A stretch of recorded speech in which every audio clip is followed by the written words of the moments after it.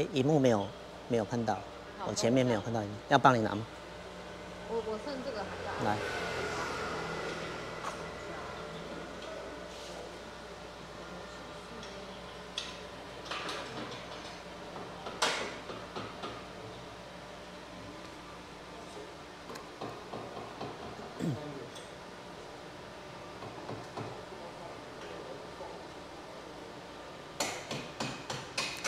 这一台是多少 CC 数啊？嘿，你这一台三千五的，三千的柴诶汽油，汽油，三千汽油 T 六，三千汽油。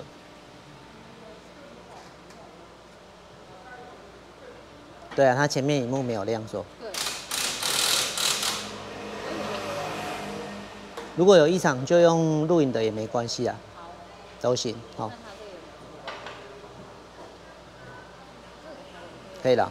好，来，诶，各位粉丝团的各位大家好，我们今天要介绍的车款呢是 Volvo 的 x C 九十的一代哈，这一台的话是三千 CC 的呃 V 六汽油的引擎哈，所以它的后面的避震器呢，之前也有介绍过好几次了哈，跟一般的避震器啊不太一样哈，它有一个专利的自己的液压系统，就是行驶的一一小段之后。会把后面的一个避震器啊，会有一个举升哈，这个是后面的筒身，这很特别哈。但是我等一下要先介绍前面呐，这个是后面专利的设计，各位可以猜看看啊，这个一支 Volvo 原厂的报价大概多少钱？非常非常贵哈，呃，比一组 KT 的避震器啊还要贵一点点哦。所以这个后面的避震器，如果然后这个它。呃，有特殊需求的话，当然哈，因为像这一台车已经使用了十二万五千公里，呃，有一只后面的有一只这一只已经漏油，而且损坏的蛮严重，已经完全完全没有阻尼的效果。那待会的话也会跟各位来分享一下这个像这样很特别的悬吊系统，它的阻尼的呃下压跟回弹的一个阻尼数据啊，实测之后大概是多少哈？可以跟一些专业的人士来做一下数据的分享。好。那我们先来看前方好了，因为前方的话，我们师傅有特别呃组装一个，然后要来跟各位来做解说。这一台车的前面悬吊系统哈，虽然是麦花臣，可是它的前面悬吊系统很特别。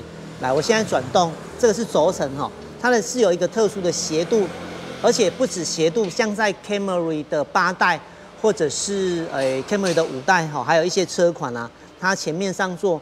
都像这样子有斜度，可是这一台叉 C 九十它不仅仅只有斜度，而且它有一个特殊的弧度，所以如果没有沿用原厂的话，它在转向的时候特别容易有声音。所以这台车我们在呃设计当时就会打一个特殊的弹簧来砍住，来砍住这个下方上座下方这个下进哈，跟原厂座一样，然后沿用原厂的上座，那这样的。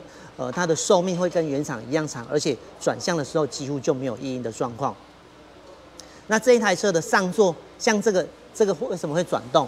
因为里面有一个培林，有一个轴承哦，所以这个轴承还有这个上座的橡皮啊，这些零件都分别是一个消耗品。那这一台车也使用十万五千公里的，所以一并做汰换的话，不知道也没有把它拆开了哈，但是。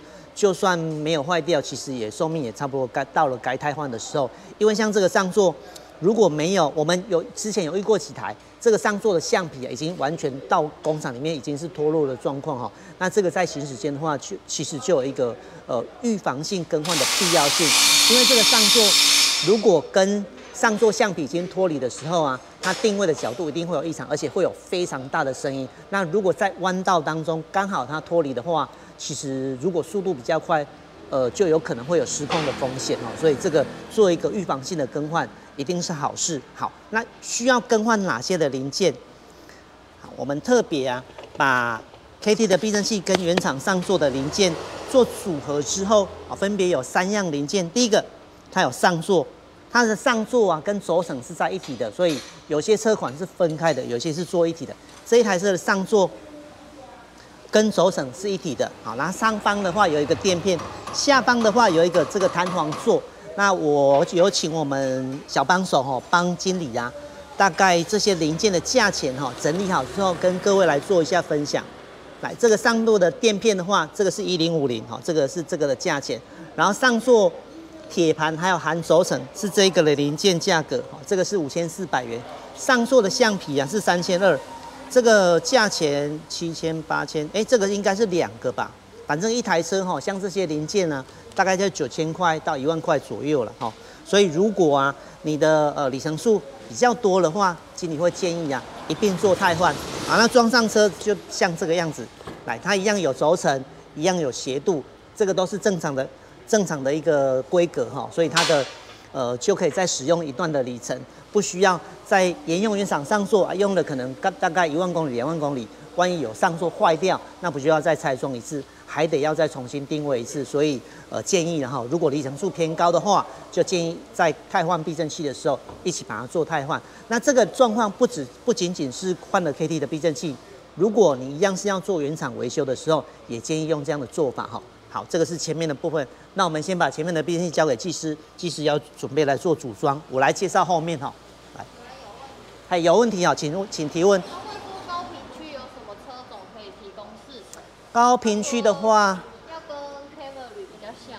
Camry 啊，Camry 的话，经理自己公司里面的试乘车就有 Camry 六代诶。如果有来台中的话，很欢迎。因为呃，假设了哈，呃，我们今天是叉 C 九十的车主，那想要来做试乘的话，其实这个车比较少，经理也不太有办法安排一样的车款来给各位来试乘哈。那如果刚好有一样的话，像最近好多人在询问 CRV 的五代，像 CRV 的五代，我们在。中部的武器车，哈，北区的叶大侠那边分别就有这个 CRV 五代的实车可以提供给各位来试乘。Camry 的话，工厂 KT 的工厂在台中，台中就有了。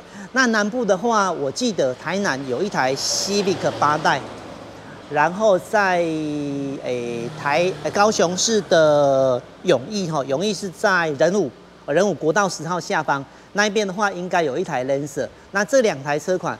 呃，就能当个参考了。跟 Camry，因为 Camry 本来就是很舒适啊，所以我们工厂里面的 Camry 的改装方式也会比较类似修理车，它没有改得很竞技化，没有改得很运动化哦。所以如果有机会的话，呃，要到永义试乘，可以直接跟永义联络。那如果不晓得联络方式的话，可以询询问一下我们小编。好，没有其他问题，我继续直播喽。好，那后面的部分哈，避震器的话，算是这一台车介绍的重点。来，避震器损坏最经典的样子哈，就是它的阻尼啊是完全失效的。这个阻尼压下去，而且来，大家看看这个声音这么大，觉得有可能在车上会有异正常吗？哈，这个在车上就会有很蛮严重的异音哈。它遇到坑洞就是口口口不断的做动。那正常避震器我们下压跟回弹啊，它会有一个阻力，这个刚刚一下压就完全没有阻力的，而且这个漏油已经从外观上就看得出来蛮严重了。一般副桶的避震器其实不太从有办不太有办法从外观来辨识它的一个漏油的状况，因为原厂避震器的结构啊通常是副筒的，我们在外筒里面还有一个筒身，所以当它有损坏的时候，在外观上并不太看得出来有漏油。有一个最经典的影片，经理有放在 YouTube 里面哈，是纳纳智捷的 M7 那一台车的后面避震器啊损坏的，很多车友都已经坏掉了。那个状况的话比这个更严重，那个是完全可以用手压，用手指头压就可以压得下去，而且完全没有阻力就可以回弹上来。那个的话就是外观也看不出来，可是在车上坐的时候可以看到。从后面的车可以看到前面的车，就好像这样子，它没有办法吸附住弹簧的晃动哈，这个就是最经典避震损坏的样子。那这个这个呃，我不知道这个是后面的哪一边哈，这个损坏的比较严重。好，那经理有一个实验性的一个做法，把这个后面的避震器哦，我想要了解看看新品的时候原厂哦都一样原厂来做一个比较，新品时候的原厂的阻尼。阻尼所谓的阻尼梯值啊，就是指这个下压的力道。哎，C 值哈啊，回弹的话就是 T 值。那这一个的 CT 值啊，使用了十二万五千公里左右，它的数据分别是大概哎每秒零点三公尺的时候是大概三百，下压也是三百啊，回弹的话 T 值也是三百啊，所以它的一个阻尼啊算是比较大，那也大概符符合。经理刚刚对这种悬吊的预期哈，因为会预估它的阻尼值的话，会跟几个不东西有关系。第一个，这台车是日系车还是欧系车？如果一样是欧系车的话，它的阻尼就会做的比较强一点点。那后方的悬吊系统也不太一样哦，呃，像是这个筒身它的行程比较短，所以它的阻尼值就会做的比较大，亦或者是说它的车重比较重，主因子就会做的比较重哦。所以这台车大概两千多公斤，后方的悬吊系统加上它弹簧，这个弹簧后面很粗诶，这是后面的弹簧哈，大概十来公斤，十几公斤，所以它的 T G 值就大概三百左右。我有把它翻拍下来。档案哈，如果如果有业内的话，想要了解这一台车，因为这台车比较少，很多业内都没有开发，那我可以跟各位来做分享。它的 C 值的话，每秒零点二公尺的时候是两百八十五，T 值的话是三百零七。这个的话，一般车主用不到这些数据哈。那如果有刚好也是做避震器的业内的话，可以了解一下这个数据来开发这台车的车款哦。各位就不用再重测。但是刚刚所提供的数据是使用了十二万五千公里哈，一定有部分的衰退值哈。好，那我们来看看后面装上去的样子。它本来后方的话是一个大大弹簧，那我们把它改成有一个转接座的方式，转成转成一百八十长十二公斤的规格。好，它变成一个直卷的规格。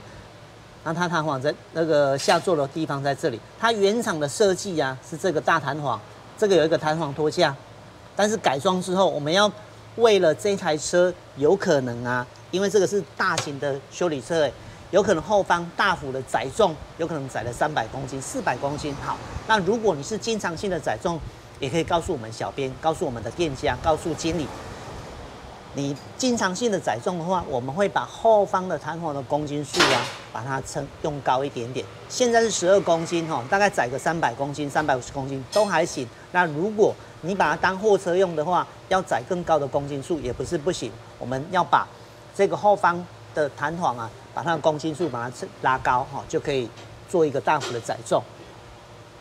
好，那这台车拆装的时候比较后面哈会比较耗时一点点，我看师傅有没有复原的，如果复原的话，可能就拍不到，拍不太到。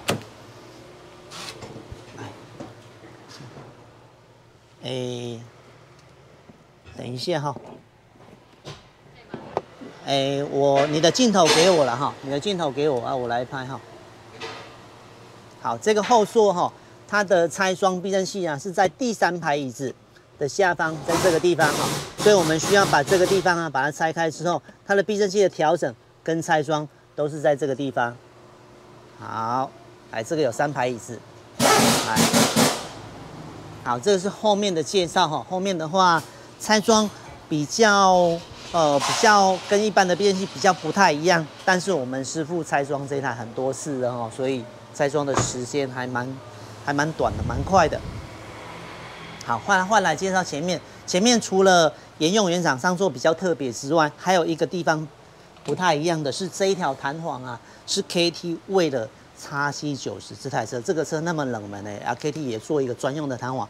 我们前方的弹簧打了一条两百二十五长十公斤的规格，那有可能啊会觉得这台车十公斤会不会太跳？其实不太会啦，因为这台车的车重还蛮重的。它的前面悬吊系统麦花臣配上十公斤的话，算是刚好。而且前面的话，为了要保留它一部分的舒适度，为什么要保留舒适度？因为这台车是大型的修理车，诶，有可能你后方承载的是家人、小朋友，那总不可能会做的太热血哈。所以我们打了一条十公斤的弹簧，让它的一个乘坐的舒适感好会更好。这个也不是直卷的哦，这个是上大，上面大的话是刚好砍出它原厂的一个托架。下方在这里哈，所以它的呃不是直卷式的，它的做动起来的顺畅度也会比较舒适一点点。好，那这里有一些小细节了哈，这个是 ABS 感应线的固定架啊，这个是离载串的固定点哦，它的下座的话还蛮简单的。那调整车高的话，就从这个地方来做调整哦。麦花臣的话。呃，其他车款也都一样哦。从这个地方来做调整，把这个齿轮状的托盘敲松之后，如果筒灯长度拉长，它的车高就变高；缩短的话就变低。好，那换前方介绍了哈。来，前面的话，这个 C 颗引擎，三千 CC 汽油，这台车我们之前也有做过柴油的哈。好，这个是上座，上座的话已经换新品了嘛？